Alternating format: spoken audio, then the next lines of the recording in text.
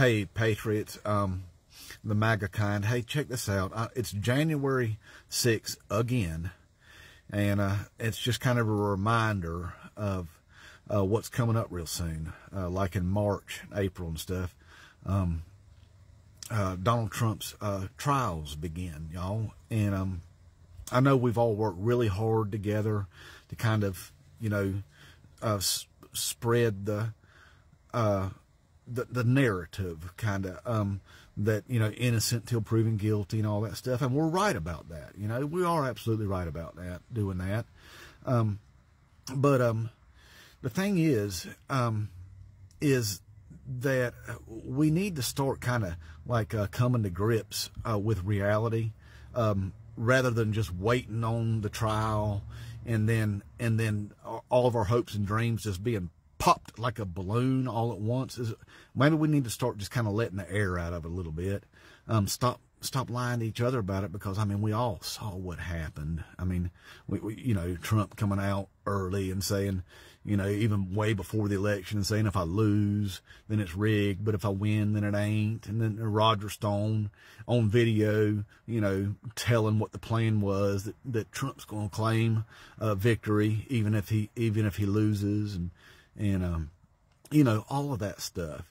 And see, and that's that's the stuff that Jack Smith has. Um, he's not just focusing on the speech, you know, where where Trump said, uh, "Hey, um, let's let's march down there peacefully." Uh, one time he said that, and then and then um, uh, uh, fight like hell, or or you won't have a country. And Rudy Giuliani saying that you know trial by combat, all that stuff. I mean, Jack Smith's looking at all that, and um, but he's not just focusing on the speech like we're trying to convince people that that's what the whole thing's about. Um, whenever um, he literally has mountains of evidence um, that this was all planned and coordinated among many people, many people who are turning state's evidence against Trump, who participated in the attempted coup of the United States federal government.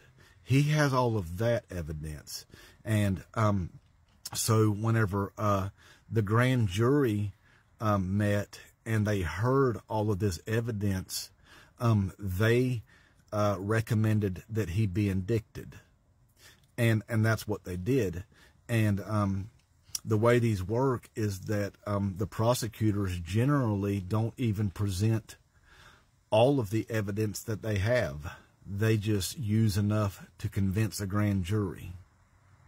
And on top of that, we all saw it happen, and so did all those Democrats and stuff. Um, so we know what's coming for him, Patriots, is what I'm saying. Um, we need to kind of, uh, you know, start easing the blow that's coming.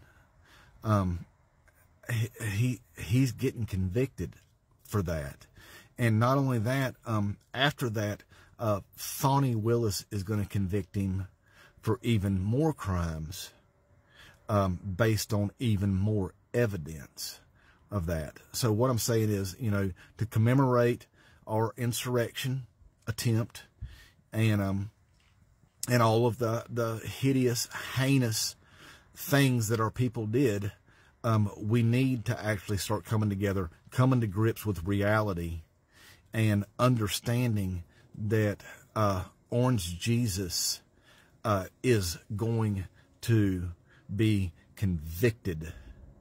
And he does not stand a snowball's chance in hell of ever making it anywhere close to the Oval Office again.